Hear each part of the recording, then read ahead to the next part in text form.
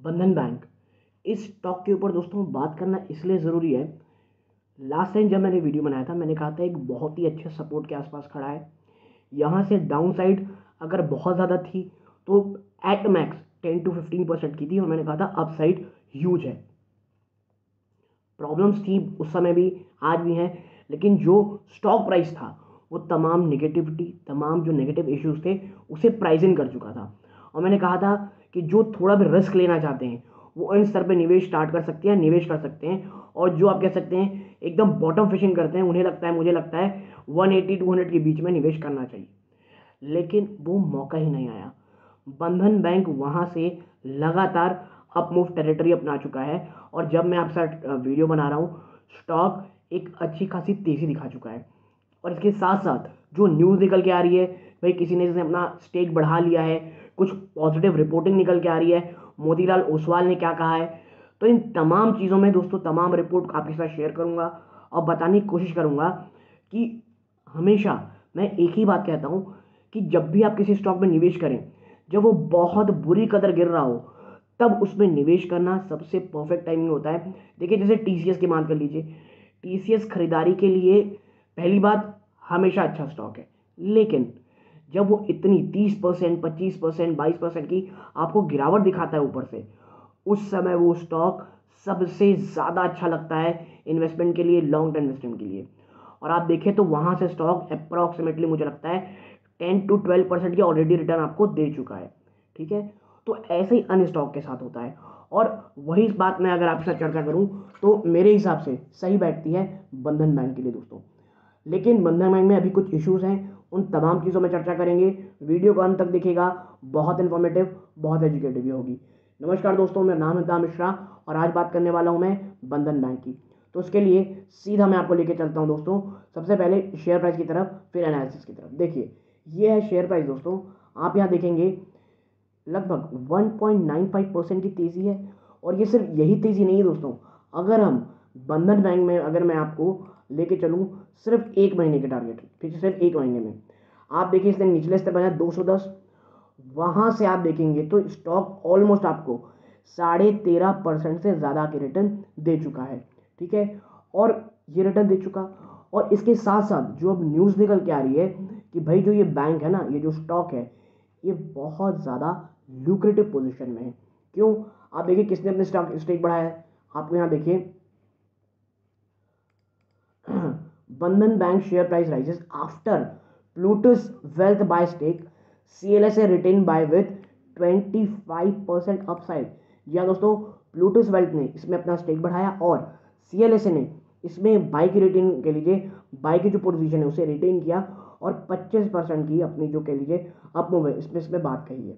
देखिए प्रॉब्लम का है दोस्तों? प्रॉब्लम है इसके एम एफ़ आई लोन्स में माइक्रो फाइनेंस लोन्स में दोस्तों। आप देखें the the bank lacked management talent depth to scale business beyond M F I देखिए बेसिकली बंधन बैंक की जो आप कह सकते हैं, जो यूएसपी है, जो स्ट्रेंथ है, वो माइक्रो फाइनेंस लोन है। उसके अगर आपको ऊपर जाना है तो उस तरह का टैलेंट उस तरह का मैनेजमेंट डेप्थ नहीं दिखता है, ठीक है? It was encouraging to see new senior hires from top private banks in the near P M F I sorry माफ़ कीजिएगा पी एफ़ आई बोल रहा हूँ बार बार। मैं इसके ऊपर पढ़ रहा था people front of India front India माफ़ कीजिएगा। M F I this is M F I not P F I M F I will be the key C L S A said भाई सी एल एस ए का मानना है, जो M F आई हैं micro finance institutes हैं, उनके loans के ऊपर अगर जाना है तो हमें साफ़ साफ़ नज़र आता है कि लैक ऑफ़ टैलेंट लेकिन जिस तरह से अन्य प्राइवेट बैंक से लगातार टैलेंट लिया जा रहा है हायरिंग की जा रही है, जैसे ही M F I loans microfinance loans normal institute loans अगर नॉर्मल होते हैं तो फिर एक री रेटिंग आपको इसके स्टॉक में देखने को मिलेगी। ठीक है? अब नेक्स्ट चलते हैं कि भाई, आगे क्या कहा जा रहा है तो देखिए। देखते हैं। हम्म। Bandhan share price edge higher in the morning session on December 2 after Plutus Wealth Management acquired share of the private lender for 212 crore through an open market transaction ठीक है? 212 करोड़ रुपए का ओपन मार्केट ट्रांजेक्शन के through अपना stake बढ़ाया है। According to the bulk deal available with the NSE Plutus Wealth Management LLP purchased 90 lakh steps of the company. The share were bought at an average price of 235 दो सौ पैंतीस रुपये के average price में। ये खरीदा गया है taking the aggregate value at rupees two hundred twelve now the global research and brokerage home C L S has written a buy call the stock with the target price of rupees three hundred per share तीन सौ रुपये प्रति share का upward target दिया गया है and upside twenty five percent of the current market price over the medium term the bank's strategy remain diversification to non M F I category with the company to increase exposure to states beyond West Bengal Assam with M F I C L S A कहना देखिए सी L S ए कह रही है कि भाई साहब by की return तो है और बैंक की स्ट्रैटेजी जो नियर टर्म में होने वाली है, वो आपके साथ डाइवर्सिफिकेशन है, जो अपने एम एफ़ आई लोन्स है, उसके अन्य लोन्स में बढ़ाना और जो अपनी प्रेजेंस है, वो सिर्फ़ असम और बंगाल जैसे स्टेट्स में ना रखते हुए अन्य, कह लीजिए स्टेट्स में भी जाना through M F I loans ठीक है? यानी एक वेल बैलेंस की बात कही जा रही है। आगे आप आएँगे, जो ऊपर कहा था मैंने the bank land of the management तो ये हमने पहली बात कर ली है, ठीक है?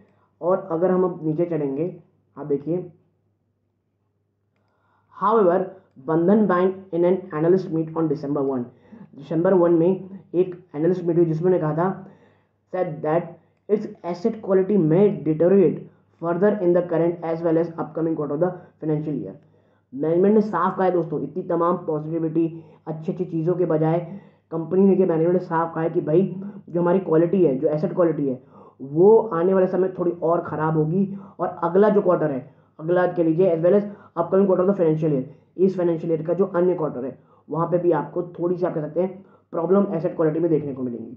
The lender told analyst that G N P gross non performing asset may rise to seven thousand eight hundred crore in December quarter and rupees eight thousand crore in March quarter ये easy नहीं रहेगा.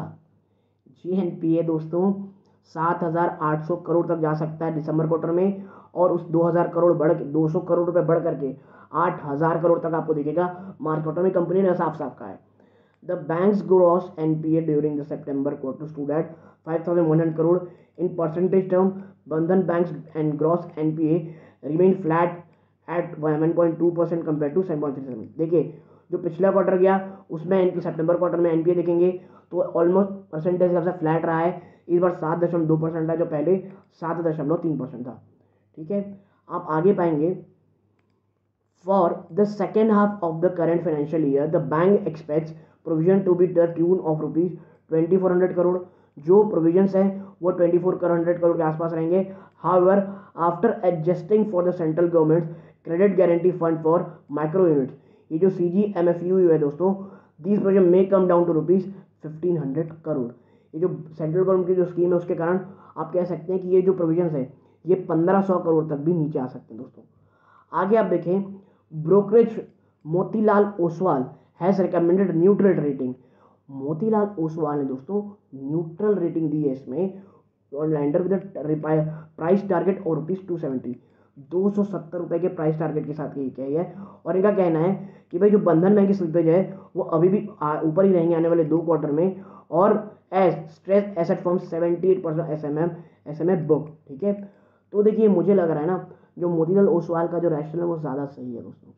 आने वाले दो quarter बंधन bank के लिए बहुत टफ रहेंगे। लेकिन देखिए, हमेशा मैं कहता हूँ न्यूज़ फ्लो से आई तेज़ी या गिरावट कभी भी घबराना नहीं चाहिए। ये जो आपको तेज़ी दिखी न्यूज़ फ्लो के कारण दिखी है। और यदि बंधन बैंक वापस से पलट करके मुझे 200 तक दिखता है इवन 180 के आसपास भी आता है तो वो बाइंग के लिए बहुत अच्छी अपॉर्चुनिटी होगी दोस्तों लॉन्ग टर्म के लिए। मैं कोई ट्रेडिंग की बात नहीं कर रहा हूँ, कुछ नहीं कर रहा हूँ दोस्तों। क्योंकि ट्रेडिंग तो आप आज भी कर सकते हैं स्टॉप लॉस लगा करके।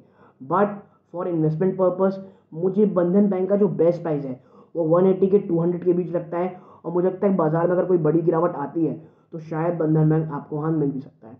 मैं ये नहीं कहता मिलेगा, नहीं मिलेगा दोस्तों, ठीक है? बंधन बैंक जो एकदम बॉटम फिशिंग करते हैं, उनकी बात कह रहा हूँ one eighty two to hundred वरना टू हंड्रेड टू टेन के पास एक ट्रमेंडस सपोर्ट है दोस्तों बंधन बैंक का। तो ये पूरी एनालिसिस दोस्तों इस बात को लेकर के कि क्या प्लस है, क्या माइनस है। सिर्फ़ इस तेज़ी में आकर के हमें निवेश करने की नहीं सोचनी चाहिए। जो रिस्क आज भी इसके सामने एसेट क्वालिटी का कंपनी ने खुद कहा है दोस्तों। अपने एनालिस्ट मीट में कि भाई आने वाला दो क्वार्टर हमारा जो जो कह ले सकते हैं आप एसेट क्वालिटी है, वो डेटोरेट होगी दोस्तों। तो यदि आपको ये छोटी सी एनालिसिस पसंद आई हो वीडियो को लाइक करके चैनल सब्सक्राइब कीजिएगा। यहाँ तक जुड़े रहे। इस बात का बहुत बहुत धन्यवाद दोस्तों। ये इस वीडियो का अंत है। जय हिंद दोस्तों।